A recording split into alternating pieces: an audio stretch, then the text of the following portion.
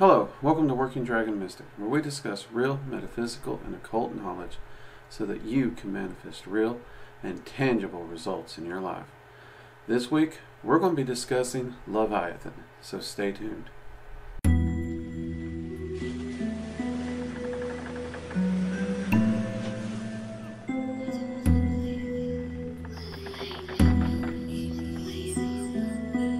Alright, this week I want to talk about an entity I have been getting a lot of questions about over the last few months, both in the live streams, in email, on Discord, um, the Patreon, everywhere. Um, and that is Leviathan. And I totally get it and I totally understand why this entity is so popular and so many people are so curious about it.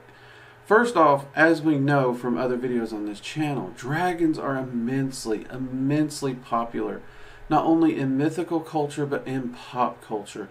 They are everywhere. So anytime an entity um, is associated with that mythology, it's just something that humanity seems to gravitate toward very, very easily. So, with that said, I also get the question is Leviathan a demon or is Leviathan a dragon?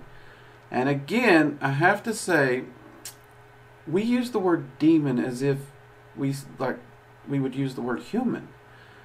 Um, that's not the case actually. Um, the word demon originated from the term daemon, um, and it had a completely different meaning. And that's something we'll probably go into in another video. Now, different religions, different belief systems have taken any entity they view as harmful, chaotic, or evil, and they've just lumped it into this mass um, podge of what they call demons. In fact, most of the demons and even the goetic spirits were worshipped as gods before Christianity. Simple as that. So why did they go from being deities to suddenly demons? Honestly, they're publicists. Um, so that word is drastically misused, and the simple fact is there are a lot of demons that are true dragons um, because of that. So Leviathan is definitely one of these. Um, I myself have been fascinated with Leviathan since childhood. Many of you who watch this channel know I grew up in the church. So reading stories um, from the Bible was something my grandfather always done.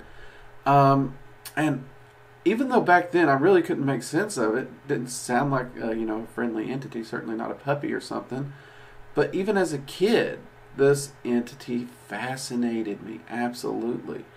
Um, in fact, uh, one of the first movies that I ever watched that got me fascinated in science, marine biology specifically, was the movie Jaws. I remember seeing that um, on TV um, with my dad when I was really, really young. Of course, once he realized I was watching it, he hurried me out of the room.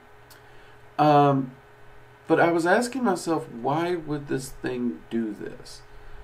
And I remember being fascinated by the shark itself um, and it just had this certain terrifying beauty to it. And it did, that movie did bring to mind memories and of my grandfather reading stories about Leviathan. So, in a lot of ways, you know, there is that overlap there. I'm not saying Leviathan was a shark, nor was he the inspiration for Jaws, but it is something that has played a part in my life for a very long time. Now, I'll be honest, Leviathan is an entity I work with a lot in Dragon Magic. Um, and I primarily work with Leviathan from a draconic standpoint. I do work with him as a dragon. Um, but that's not to say for those people out there who work with Leviathan from the demonic perspective that that is inaccurate because, again, regardless of how you're approaching the entity, it doesn't change the fact that the entity is the entity. So the answer, the simple answer to is Leviathan a demon or is Leviathan a dragon? The answer is yes to both because the way we are now using the word demon. Um, and that is something I really am wanting to do a video on in the future. But needless to say, we're just, for simplicity, remember, we are throwing anything, any entity type um, that is disliked by another system or belief into that bucket of demons. Um, while everything else that's divine and good we lump over here, and that's that's not doing justice for anything in magic and practice. Um, if anything, it's confusing a lot of people. So, let's get into this a little deeper then. Who is Leviathan? Well, most people will know Leviathan as a serpent like dragon that lives in the oceans and is talked about in the book of Job and a few other places. And there is plenty of lore scattered around, some of it contradictory. But we see this in myths and legends a lot. Um, now, quickly, appearance wise, um, Leviathan is often viewed as an androgynous entity that takes the form of a massive serpent style dragon covered in heavy scales. Its eyes and scales shine bright with light and heat and fire from its mouth. Um, this is a pretty normal and common description of Leviathan. Um, it is very well known for the heat, the light, that bright fire, that burning sensation from the eyes and the mouth. Um, even its scales itself seem to shine with this unworldly um, heat that produces a light. And this makes sense when you look at Leviathan in Dragon Magic and you learn about Leviathan. Leviathan is what is referred to as a cross elemental dragon, not just a singular specific elemental dragon. So the elements that Leviathan is associated with in Dragon Magic are earth, water, fire, and chaos. Now, the chaos one is the big one that scares a lot of practitioners away because we do know in Dragon Magic how dangerous and destructive chaos can be. But this is one of the reasons Leviathan is such an amazing entity to work with because of those first three elements. All three of those first three elements that you see in Leviathan are a part of the lower element tier, the beginning tier. And you can approach Leviathan and work only within those tiers. Now, that doesn't mean a little bit of that chaos ain't going to bleed in. This is an entity of change. This is a massive entity of change and growth. It's going to cause a lot of movements. It's going to cause disturbances. It's going to remove blockages from your life. It's going to open pathways. And it will do so in a big way. But since it does have those three areas that are in the lower elements, it is a very, very approachable entity for a practitioner. Should it be the first dragon you ever approach? That would be questioned. There's a lot of practitioners who would question that. But Leviathan is an approachable one if you are ready for change. If you don't want change, don't approach this dragon. That would be my one caveat. If you don't want change, if you want everything to stay as it is, don't approach this dragon. This isn't an entity you would approach just to bring something to you because that's not necessarily change, that's just adding something. And it's a it's such a minor change, it's not the type of change we're talking about. When this dragon moves, there's going to be big change. Um, what you know as your daily routine and your daily life will change in some way, but that's a good thing. Now, as we know, many dragons have a human form. In human form, Leviathan is often seen with dark hair, um, and deep gray black eyes, as if staring into the abyss, abyssal waters of your very soul.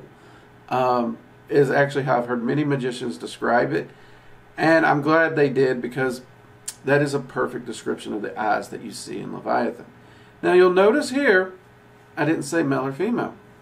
Again, Leviathan has a very androgynous um, form. Now, there are times a Leviathan will appear male very drastically and very female. That's fine. Most of the times, though, it's very androgynous. Um, and I believe this actually ties into the lore as well. In many of the writings, there's listed two Leviathans, a male and a female. One is separated from the other, and another Leviathan's refer, uh, referred to as he.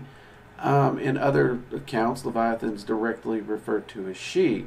So the fact that dragons are largely androgynous and don't really have a set sexuality and they can change it at any time, even if they have a day to day preference, um, nothing's locked in for them. Again, that does make a lot of sense when speaking about Leviathan because Leviathan is a dragon. Um, now, I've seen a lot of practitioners getting fights over is Leviathan male or female. I'll be honest, I don't understand those arguments. Um, if you're working with an entity and it chooses to appear to you one way or the other, go with it. Um, like all gnosis, gnosis is going to change from person to person. There is no one true gnosis. There's things that we can line up from multiple magicians to kind of get a broader view and understanding of a larger truth that is trickling out through multiple venues of gnosis. But if your workings are working for you and they are manifesting the changes you're wanting, go with it. Okay?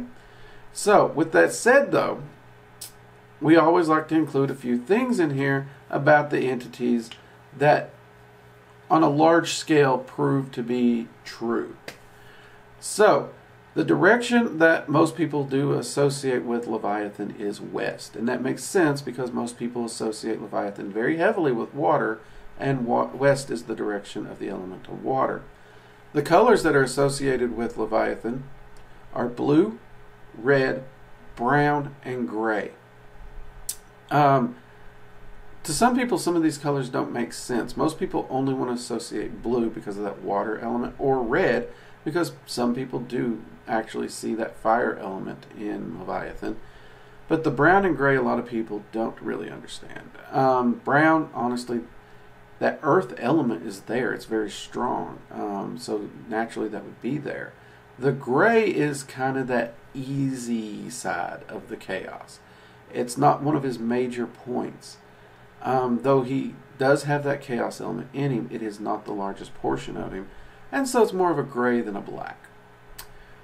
The season um, that is associated with Leviathan for a lot of practitioners who work with Leviathan and associate different entities with seasons is autumn. This is a particular one I don't actually use. I don't really work with the seasons in Dragon Magic so much, but that but that's okay. And naturally, the month they associate with um, Leviathan is September, which honestly that's my favorite fall month. So yay, let's go with that. Um, and of course, the element. Um, here we have the element, the main element listed as water. And that is true. Most people in most practices will associate Leviathan with water. Some even refer to it as a primal water elemental, and I can understand that as well. I mean, even dragons themselves are referred to as primal elemental beings, though they're not elementals. Um, so, yeah, that makes perfect sense. But again, at least in dragon magic, at least in dragon magic, let's make that caveat Leviathan is viewed as a cross elemental dragon who works in water, earth, fire, and chaos. Okay? All right. That leads us to what areas can Leviathan help in? Now, this one is a long list of areas that Leviathan can help in, and he is a very, very helpful one here. He can help with magic dealing with nature, knowledge, secrets, sorcery, emotions, initiations, workings dealing with the equinox, particularly the fall equinox, healing, and fertility. So you do see all these little things playing out here. Now, do remember sometimes healing can have a destructive factor. Sometimes something has to be removed, something needs to be torn away. Um, the same thing with nature. There is reasons nature needs to be destroyed. Um, underbrush needs to be burned away nature is very good at healing itself. That's why, I mean, a lot of forest fires happen in the wilds of nature, never seen by man, because of this very thing. Um, even Native Americans used to do back burns to restore fertility to the land and let it grow wild again. Um, emotions, again, you're tapping into that deep, those deep waters of the emotions. Okay, next, of course, we do have the sigil. The sigil of Leviathan we'll throw up right here. Now, this is an alchemical symbol known as the Leviathan cross. Um, it is traditionally was used to represent sulfur. Um, however, a lot of people have started using this as the modern symbol for Leviathan, and that is perfectly okay. This is exactly where I got my started first reaching out with Leviathan. However, I also later, once I received the Dragon Eye Seal from the dragons, utilized that to contact Leviathan. And you can check out our video on the Dragon's Eye Seal here on this channel. I'll make sure it's linked in the cards and above. Um, now, this is a great way to utilize a, either the Leviathan's Cross, that is a perfectly usable one, or again, you can utilize that Dragon's Eye Seal and use it as a stand in sigil while calling to Leviathan. Um, when I do this, I actually turn the Dragon's Eye seal so the element of water is pointing upward while I'm looking at it. And if you are interested, you can check out our merch shop at workingdragonmystic.com. Click the merch tab. We have several um, ways that you can purchase the Dragon's Eye seal, whether it be on a printed canvas, um, a tapestry to hang on the wall, or it's large enough that you could actually use it as a ritual circle itself and it makes a magnificent ritual circle for the dragon magic practitioners. And we even have some shirts on out there as well if you want them. Okay, so this dragon does not have an enn that I am aware of. If someone does is aware of an enn that this dragon or this entity has, by all means let me know. Um, when I'm working with Leviathan, I use the standard draconic incantation, Draconis Balash Lux Tenebris. Draconis Balosh Lux Tenebris. Uh, many of you who've taken the Dragon Magic 101 course, um, again, at the online school, you'll be very familiar with this draconic incantation. It works very, very well for working with any dragon. But of course, you can always write your own incantation. Don't think you absolutely have to go out there and find a pre constructed incantation the best incantations in a practice, honestly and truly, is either one given to you by the entity directly or one you write yourself. Um, do not waste hours trying to find and figure out how to pronounce someone's incantation that they gave you, even if they claim it was channeled by the entity. You will still get better results in one that you wrote yourself or one that was given directly to you. Always. End of story. So don't get too hung up on that. Okay, so my experience with Leviathan, I have highly enjoyed working with this entity. This entity has helped me with massive changes in my life, getting things moving, um, helped me a lot with shadow work actually. Leviathan is one of the ones that I do enjoy doing shadow work with. Um, has helped me deal a lot with emotional issues through my life. Um, some things that were buried helped me stir it up, deal with it, heal it. Um, was very instrumental in helping heal me um, when I was in the hospital. Has also been really, really wonderful in helping me gain um, knowledge and secrets from lore of history and putting pieces together and trying to find the links in different cultures and mythologies that some people don't believe that there's an overlap or a connection or how they might work together or even how they um, exist separately. Um, he's been amazing in those areas. So I do recommend if you are interested in cultures and histories, this is a good um, entity to reach out and talk to.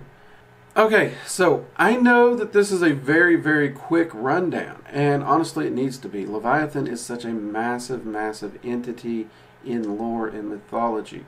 I would have to do a two hour video to even attempt to really touch on it. However, what I would do is I'd have I would take this information, write it down. Um, you could easily easily reach out to Leviathan using the Leviathan's cross that we showed, or you can again check out the video on the Dragon's Eye seal and use that, and speak with Leviathan directly and see what you think about this entity. Um, also, I would encourage you to check out your mythology. Um, and don't just read from one source. Try and find multiple sources. There's a lot of um, debates um, different gnosis and disagreements on this entity. And I can't say that they're wrong or right because it does differ from place to place. And honestly, a lot of the old myths and stuff in the translations, things were missed or lost. So we do kind of have to take this with a grain of salt as we pursue forward. And that is why personal experience and application is going to be your best tool as a magician, always. Um, that personal gnosis cannot be replaced. So I would encourage you to go around and check out multiple sources of information, um, whether it be on YouTube or reading literature and lore and books, um, and the myths of the different entities you are interested in. And specifically Leviathan. I mean, Leviathan has a rich history, um, and it's been an interesting one for me to research and study and then to learn about and actually get a chance to talk with this entity that um, has really fascinated me since childhood.